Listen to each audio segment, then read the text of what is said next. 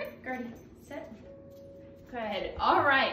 Welcome to Gertie's dog training video. Um, sweet Gertie. I did put her on a leash. Uh, I don't always have a dog on a leash in videos, but my cat is stalking around here and Gertie loves my cat, don't you? Yes, so I'm just doing this just to um, help her focus right now. So in the videos, I'm gonna go through what she's learned here, um, show you how to practice it so that you can uh, keep the training up at home. Yes, good girl, Gertie. So Gertie um, does have a lot of energy. I would say out of all the puppies here, she is like, they're trotting and she is running at 100 miles an hour.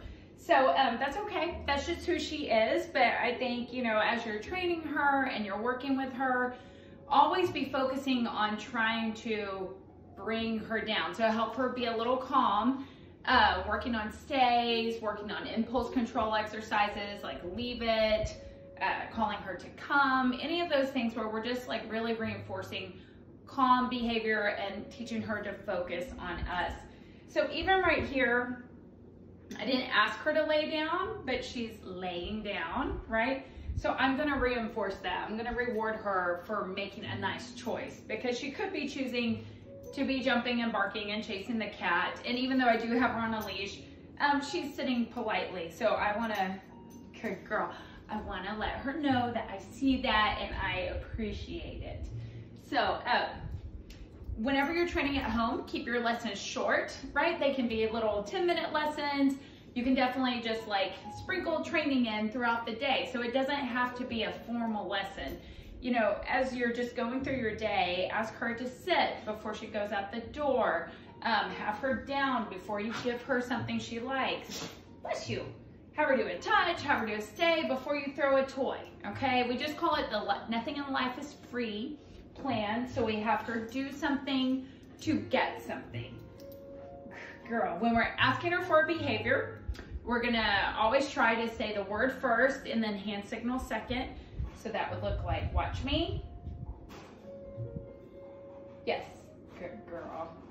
Good girl. So I'm saying the word watch me and then I'm throwing in the hand cue second. I say yes to tell her she got it right. So yes means, oh, you did look at me and I'm gonna give you a treat. So as you're training her, as she gets better, you can start to combine several cues for one reward. So we might ask for a come, sit down, watch me, yes, reward. So she does several things for the one reward.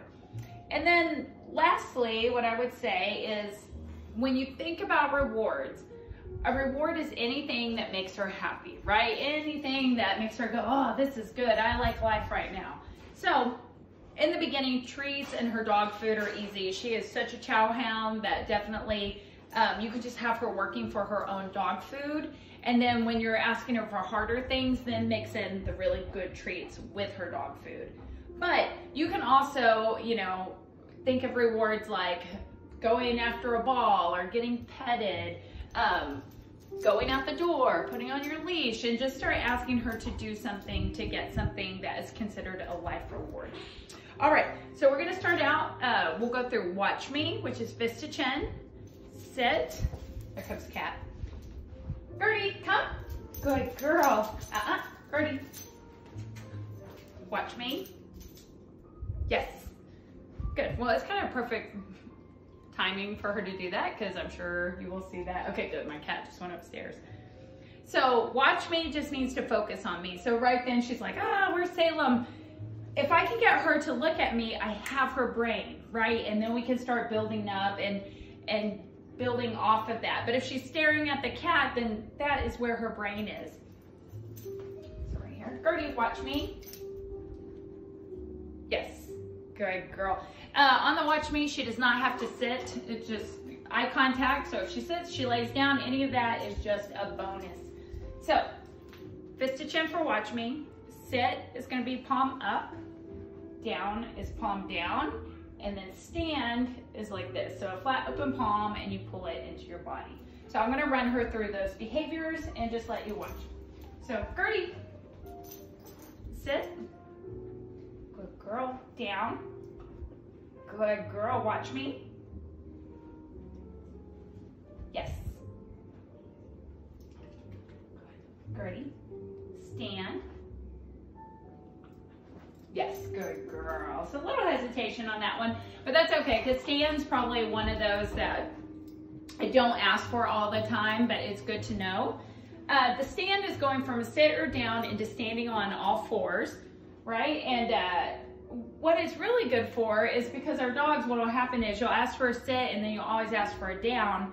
So then one day you ask for a sit and your dog's just gonna lay down. So we wanna have a third behavior to throw in there. So maybe we say sit, down, sit, stand, right? So it's not always just sit to down. It's something else in between.